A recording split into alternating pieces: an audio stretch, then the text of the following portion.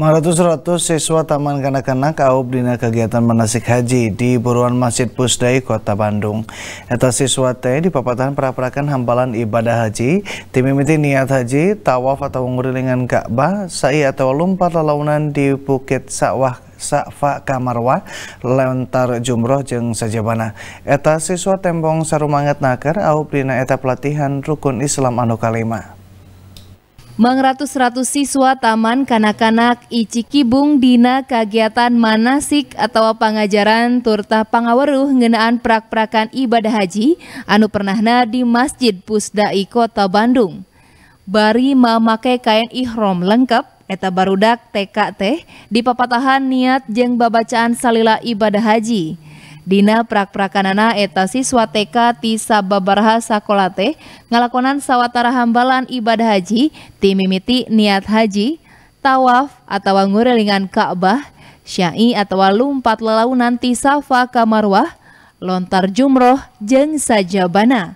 Sakunda siswa tembong saru banget naker ilubiung dina kegiatan ibadah anu mangrupa rukun Islam kalima. Eta kegiatan atikan ibadah haji anu dilakonan ti bubudak teh ngahaja dikokolakeun pikeun nancabkeun pangaweruh turta kahaat ka salah sahiji rukun Islam nyaeta ibadah haji. Pihak anu ngokolakeun eta atikan ibadah haji kacida ngapresiasina sumanget siswa. Pangna kitu eta hal teh nembongkeun yen kaislaman anu hade geus nancab dina jiwa barudak sanajan umurna tacan sawawa.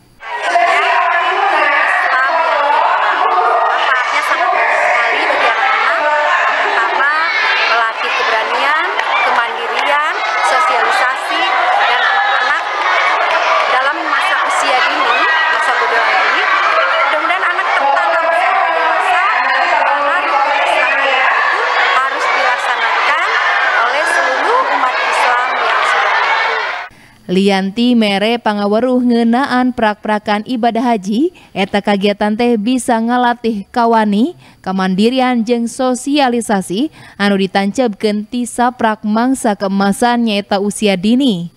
Pangaweruh samodel kitu teh dipiharap terus dipitineng tepi kajaga upama eta barudak geus sawawa. Yuana Kurniawan Bandung TV